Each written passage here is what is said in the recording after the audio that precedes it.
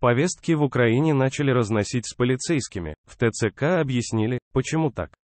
В Полтаве повестки по квартирам начали разносить представители ТЦК вместе с полицейскими.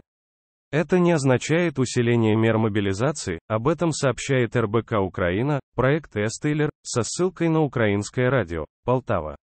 Что нужно знать о раздаче повесток?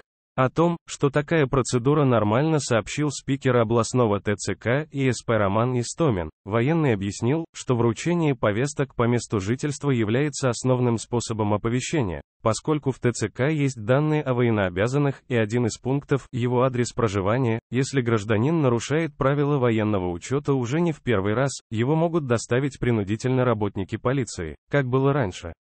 Если человек нарушает правила военного учета, не появляется по повестке, его данные передаются в полицию и дальше идут разыскные меры.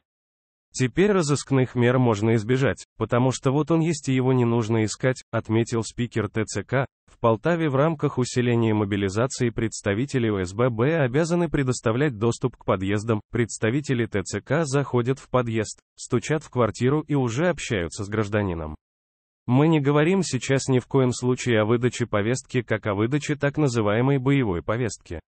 Только для прибытия в ТЦК, добавил Роман Истомин, по его словам, уведомление в общественных местах – это вынужденная мера, поскольку не все выполняют правила военного учета и проживают по тому адресу, который они в последний раз подавали в ТЦК. Читайте также, могут ли вручить повестку тому, кто имеет право на отсрочку. До этого мы писали, что в Украине хотят призвать еще одну категорию граждан.